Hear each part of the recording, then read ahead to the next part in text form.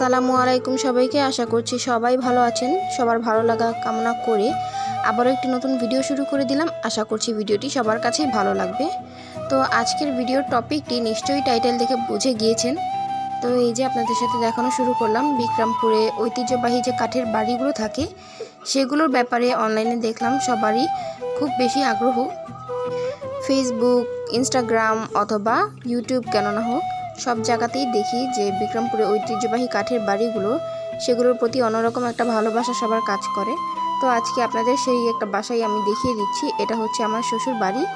তো এখানে আমরা থাকি না, এখানে আমরা যখন ঘুরতে আসি তখন একটা মানে থাকার বাংলো হিসেবে আমরা এটাকে ব্যবহার করি।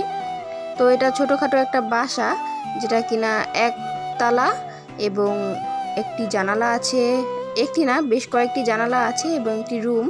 এখানে চাইলে দুইটা রুমও করা যেত, কিন্তু আমরা একটা রুম করেছি, কারণ আমাদের আসলে লাগে না। আমরা এখানে থাকি না সেই কারণে, আর এই যে এটা হচ্ছে কিচেন বারান্দা সিস্টেম কিচেন মানে এখানে বারান্দার মতো আছে মানে এটা বারান্দার মতো এবং এটা হচ্ছে কিচেন আর এখানে হচ্ছে গোসলখানা এবং টয়লেট একসাথে। তো এই ধরনেরই হয়ে থাকে। আসলে বিক্রমপুরের কাঠের বাড়িগুলো, নিচে কাঠ দেওয়া থাকে চারপাশে টিন দেওয়া থাকে এবং ওপরেও টিনের চাল দেওয়া থাকে। তো, আর যাদের যেরকম পছন্দ আর কি, তারা সেভাবেই মেক করে। এই যে এখানে চারটি জানালা সমৃদ্ধ একটি ঘর, আর হচ্ছে পিছনে বারান্দার মধ্যে একটি জানালা, অর্থাৎ কিচেনে একটি জানালা, আর এই যে এটা হচ্ছে বড়টা উঠান। এখানে রান্নাবান্না হচ্ছে আর কি, আমাদের এখানে যেহেতু মিলাচ্ছিল এই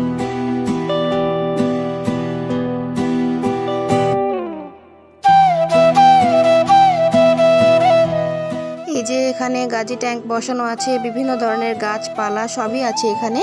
তো আমরা যখন যেহেতু এখানে থাকি না, তাই ছোট করে একটা ঘর উঠিয়ে রেখেছি। পরে ভবিষ্যতে এটা কি করা যায় সেটা পরে বলা যাবে। আর এখানে যে যেরকম চায়, দুই রুম, তিন রুম, চার রুম এবং দোতলা, তিনতলা এভাবে চৌচালা ঘর মেক করতে পারে।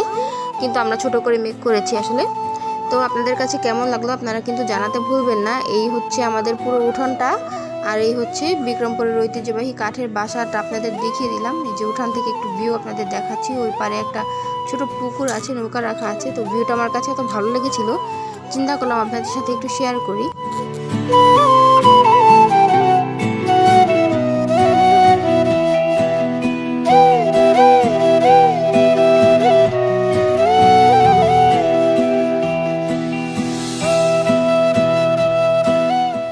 এই ছিল আজকে আপনাদের সাথে শেয়ার করা বিক্রমপুরের ঐতিহ্যবাহী কাঠের বাসাগুলো ভিতরে কেমন হয় দেখতে আপনাদেরকে দেখিয়ে দিলাম।